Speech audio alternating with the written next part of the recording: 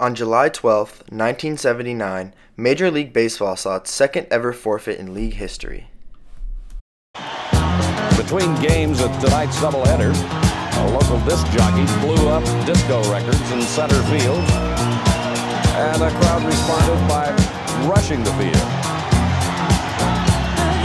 Police moved in, and it took them a considerable amount of time. A bonfire had been built in the middle of center field. The anti-disco movement which fueled the riot had deep roots not entirely visible on the surface.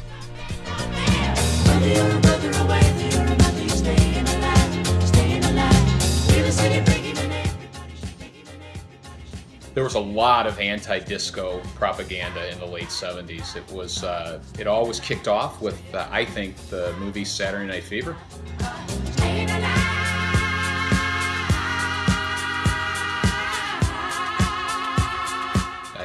In 1977, and there was this uh, amazing disco craze that was hitting the country where people were really into disco music and disco dancing. And there was this split, I think, between folks who loved disco and folks who loved rock. And the rockers didn't care for the disco craze, and uh, the disco folks were ready to take over the world.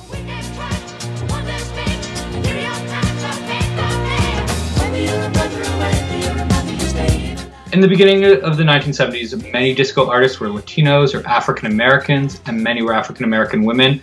But the audiences for the first wave of disco music were predominantly urban, straight and gay African Americans, straight and gay Latinos, and white gay men who were dancing in black clubs, and also in gay clubs in places like New York and Chicago and LA and in Philly. So many white gay men saw disco as their music, as music that spoke to and represented their experiences, that's happening right in the heels of Stonewall and gay liberation. This is a moment where gay men and gay women are increasingly claiming public identities, visible identities, political identities. And by the 1970s, you see a real firm public presence that's being claimed in pop culture. Between 75 and say 77, disco is broadening its audience. The media is struggling to explain this new phenomena. All these people are saying, disco's originating in gay clubs and black clubs and it's going into the white mainstream. As disco is growing, people are feeling resentful. My music's not being played anymore.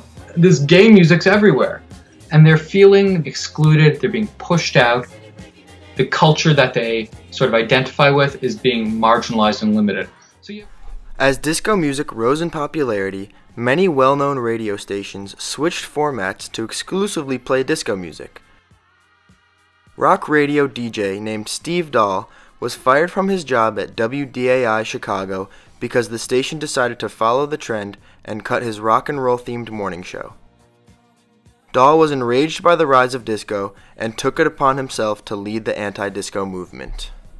Steve Dahl was a uh, classic rock jock who was very anti disco and was not afraid to talk about it. It's, it's not so much the music that I dislike. It's actually the culture, and, and we're a rock and roll station, the Loop is, in Chicago. Uh, hardcore rock and roll station, and it's actually quite intimidating to, uh, uh, to our audience, to myself, to most rock and rollers, because you have to look perfect, your hair has to be beautiful. and. Ask Steve just what he has against disco. Well, the first thing I have against it is that I can never find a white three-piece suit that fits me off the rack. I hate the taste of pina coladas. I don't. I'm allergic to gold jewelry, and you have to spend so much time blow drying your hair. I'd like to, uh, if I could, show you how we uh, destroy the disco records. Yeah, I chant to myself, coho lips, coho lips, and then I just. Oh, that felt good. Even though Dahl's anti-disco act started as a joke, it quickly grew in popularity, drawing a lot of attention from the media.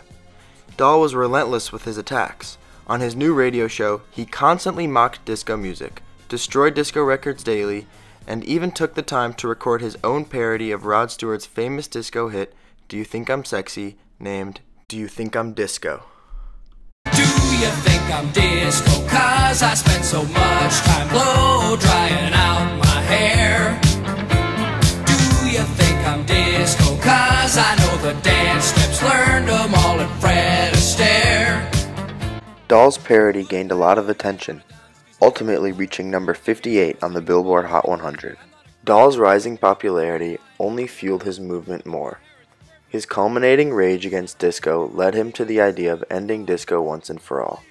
His plan was to have the biggest anti-disco promotion yet. At the time, longtime White Sox owner Bill Veeck was widely known for his game promotions. Veeck was constantly looking for ways to attract more fans to games. His wacky promotions became notorious around the country. Bill Veeck was the originator of the promotion at ball games. He was the guy that would put on uh, a dwarf to pinch hit uh, because he would get a walk for sure. I used to go to Comiskey Park as a kid and they would have free haircuts in the outfield. They'd have a shower in the outfield. It was it couldn't have been more outrageous, but it was really fun. He always wanted to do something. Bill and his son Mike Veeck started to recognize the rising popularity of the anti-disco movement. They saw it as another opportunity to reel in some extra fans to a ballgame.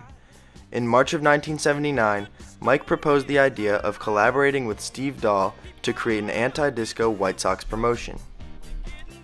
The plan was to have 98 cent admission for fans who brought a disco record along with them to be blown up in center field by Steve Dahl himself.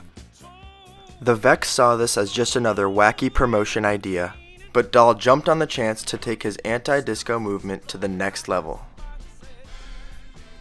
As the first game of the scheduled doubleheader came to an end, Steve Dahl made his way onto the field to begin what would eventually be named the end of disco records that you brought tonight, we got them in a giant box, and we're going to blow them up real good. For most anti-disco followers, the demolition was just a fun and crazy way to express their love for rock and roll. But for Steve Dahl, it meant much more. I mean, one of the things Dahl did was he framed this as a form of cultural warfare, right? He described his anti-disco group as an anti-disco army he said that, you know, we're at war with disco culture. And so he was like, we need to purge the culture of this influence. We need to destroy it. I've known some people that walk down the street with with, with uh, something on their something on their shirts or on the back of their jackets that says disco, and and some of those some of his what do you call Dahl's army or whatever they are, it almost got jumped on and stuff. You know, he's um he's he's he he could he could very well be a very dangerous person.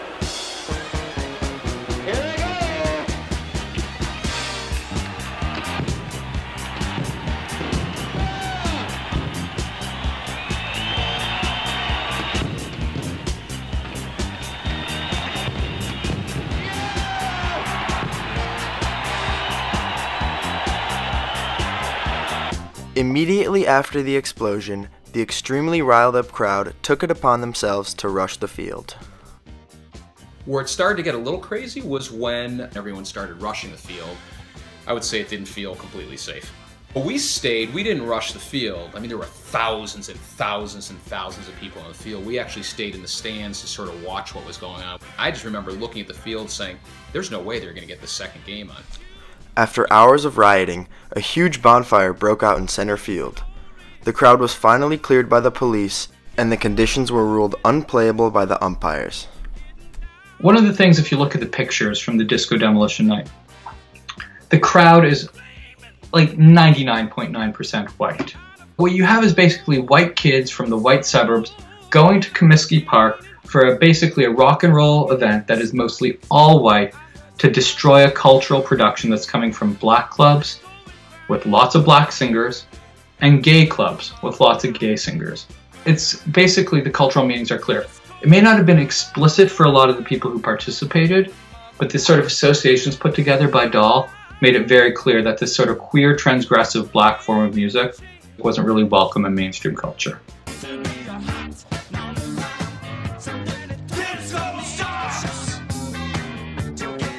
Within six to eight months, magazines are printing obituaries of disco.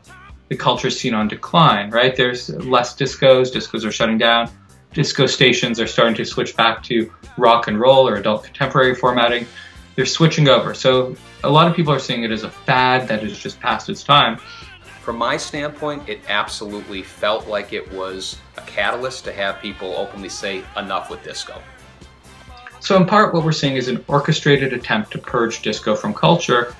But what is effectively happening is it's getting rebranded, it still gets played, but it's not called disco anymore, it's called dance music.